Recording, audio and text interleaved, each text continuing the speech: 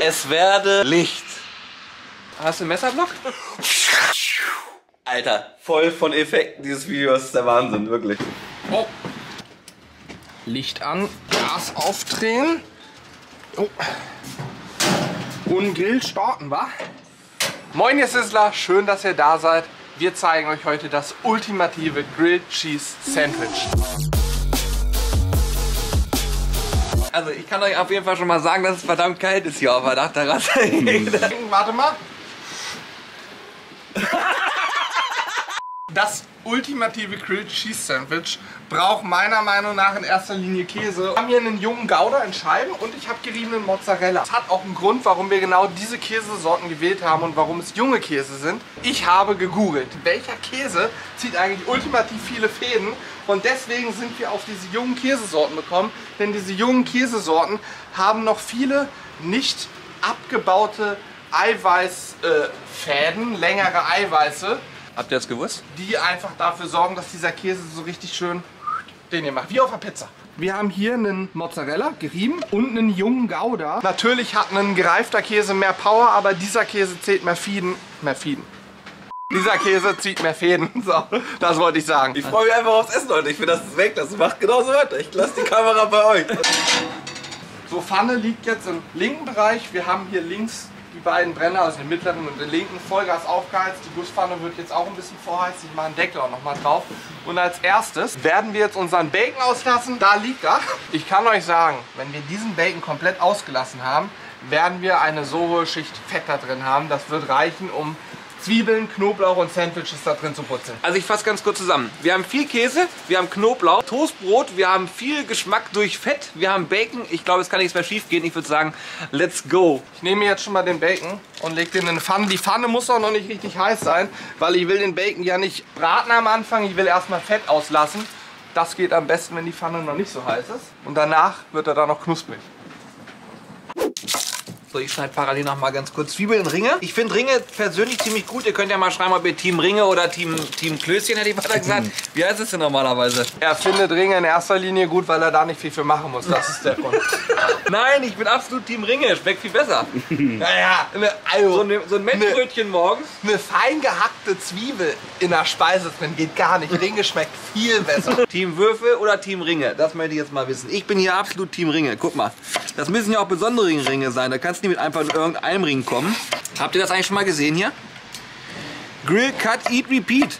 Haben wir extra bauen lassen. Wenn dieses Video rauskommt, kann ich euch noch nicht mal versprechen, dass sie auf Lager sind, weil ihr immer zu schnell seid.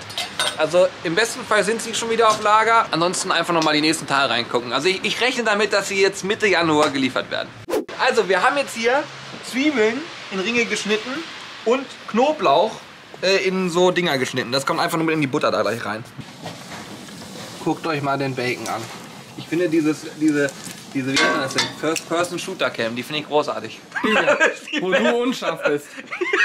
Wer ein Sandwich in einer Pfanne macht und will, dass der Käse schmilzt, sollte darauf achten, dass diese Pfanne nicht zu heiß ist, denn dann wird das Toastbrot, Julian, sehr schnell dunkel und der Käse ist noch kalt. Dann kann der auch nicht Okay, das war ein schmelzen und Fäden ziehen. Das Argument lasse ich durchgehen. Das ist ja das, was ich bei Hannes so gut finde. Der ist immer sehr ehrgeizig, sehr motiviert.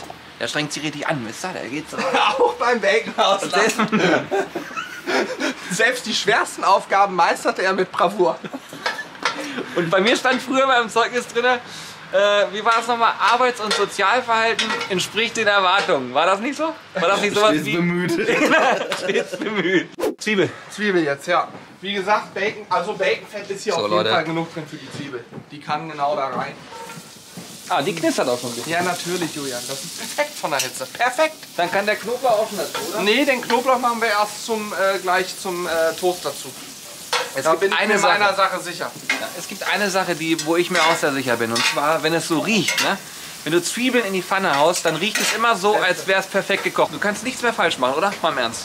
Ich bin für die Zwiebeln zuständig gewesen und ich sage euch, Team Ringe, da sieht man es wieder, auch da ist mehr Volumen in der Pfanne. Mit so kleinen Stückelchen wäre da gar nichts. Alter, ist nicht dein Ernst. Wir brauchen gleich noch was, Alex. Kannst nicht. Sorry. Alter.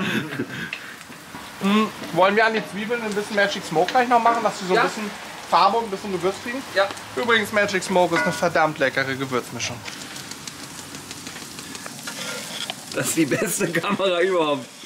Guck mal, wie viel Geschmack da, das sieht man schon, ne? wie viel Geschmack in so einer Zwiebel drin sein kann, Leute. Ich, ich mache das mal ganz genüsslich hier, um damit ihr auch Hunger bekommt. Oder? Mmh, da ist Geschmack in der Zwiebel. ihr seht, die sind jetzt schön glasig und haben Geschmack. Oh. Konzentrierter Geschmack. Hier sitzt Knoblauch, Öl und noch ein paar Reste von den, von den äh, Gewürzen drin. Jetzt nochmal den Deckel schließen. Hier riecht es auch schon wieder fantastisch. Also Knoblauch, Zwiebel gilt immer. Ne? Ich habe gestern ja ähm, Einkaufsliste geschrieben und deine Aussage war, hol mal lieber 20 Scheiben. Ich habe die doppelte Menge, ich hätte noch mal so eine Menge. Du hast mir gesagt, da muss so dick Käse drauf. Viel Also, Erfolg. das hier wird mein Sandwich, was wir hier sehen. Ja, Du und dann können wir ja mal vergleichen, welches das Bessere war. und das will ich auch in der Abstimmung nachher sehen, dass man auf jeden Fall rauserkennt, dass meins der schönere war. Guck mal hier, guck mal, das bisschen Käse. Das Ja, kann, das kann, sagen. Ja, es ist ist doch auch noch nicht fertig, Mensch. guckt euch mal das an. Das kann nichts werden. Dieses bisschen da. Julian ist kompletter Sandwich-Amateur, stelle ich fest. Kann ich jetzt auch mal den Privatkäse von dir haben? Ja, ach guck mal, das ist nämlich Profi-like. Anquetschen. Das wird nichts, Hannes. Doch. Dieses Sandwich Alex, sei ehrlich. Träumchen. Du hast Vertrauen bei mir, oder? Mei- Meine Prognose bei Hannes wird da nichts rauslaufen. Es wird kein Käsesandwich, sondern eher ein Zwiebelsandwich. Und bei Julian wird es ein Käsesandwich. Das sehe ich jetzt schon. Ey, ich will nicht die Pfanne voll Käse haben, ich möchte nachher Käse essen. soll da Guck bitte hin. Das, Das- ist ein, das ist ein Das hier Cheese-Sandwich. ist ein Cheese-Sandwich. Drückst du jetzt auch an? Oder Nein, das machen nur die Amateure. Ein bisschen hier. Ich werde jetzt mein Sandwich auflegen und ich schätze von jeder Seite, je nach Temperatur, so drei Minuten grillen ungefähr. Drei Minuten, damit es schön braun wird. Vielleicht vier und der Käse muss halt zerlaufen, das ist wichtig. Deswegen auch gut andrücken. So. Ich will nichts hören, aber guck bitte mal. Oh yeah. Der sieht doch jetzt schon richtig gut aus. Oh, da kommt der Fotomann, der schon wieder, er klaut schon wieder Sachen. Oh, oh, oh. Immer wenn er... Vor allem der Fotomann. Das ja, komm. ist der Hampelmann. Das ist der Kameramann. Das ist Hannes. Ach Mann. Wir haben eben eine Diskussion geführt, ob dieses Sandwich braun wird. Julian hat gesagt, ah, die Pfanne ist zu kalt, viel zu viel Öl, das wird nur so gelb und nicht schön braun. Ich prognostiziere, dass dieses Sandwich schön braun wird. Achtung, ich drehe. Brenner mehr angemacht. Ach so! Mensch, sieht das gut aus. Okay, das sieht geil aus. Okay. Naja, Hannes, das Battle ist ja auch, wer macht das schönere Käsesandwich? Da würde ich auch gar nichts mehr hören. Sein sieht lächerlich aus. Das sieht fantastisch aus. Ganz kurz, du wei weißt du, welches, welches Sandwich ist? Nee, ne? Welches sieht besser aus in deinen Augen bisher? Ich weiß ja, dass das hier Julians ist. Achso. Weil er es gerade selber umgedreht hat. Okay, warte, wir machen einen Countdown, dann geht's los, würde ich sagen. 3, 2, 1.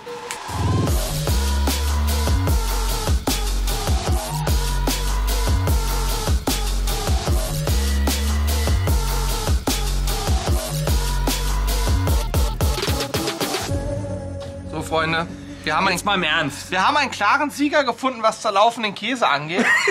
Und ich kann euch jetzt sagen, woran es liegt. Wenn man zu viel Füllung reinmacht, dann schmilzt der Käse einfach nicht komplett. Es gibt Dinge, die werde ich nie verstehen, warum er immer recht hat. Aber jetzt mal im Ernst, bitte. Das sieht doch trotzdem viel leckerer aus, oder nicht? Wenn ich noch eine Sekunde mehr gewartet hätte, wäre es perfekt gewesen. Ich war zu ungeduldig. Folgendes, bevor ich jetzt reinbeiße. Wir haben vor kurzem ein Big Mac Sandwich gemacht. Und das sollt ihr auf jeden Fall nochmal auschecken. Verlinke ich euch hier unten. Und jetzt beiße ich rein. Ihr könnt euch vorstellen, das wird mir sicher sehr geil schmecken. Daumen hoch, nicht vergessen. Die einfachsten Rezepte sind die besten. Wirklich so.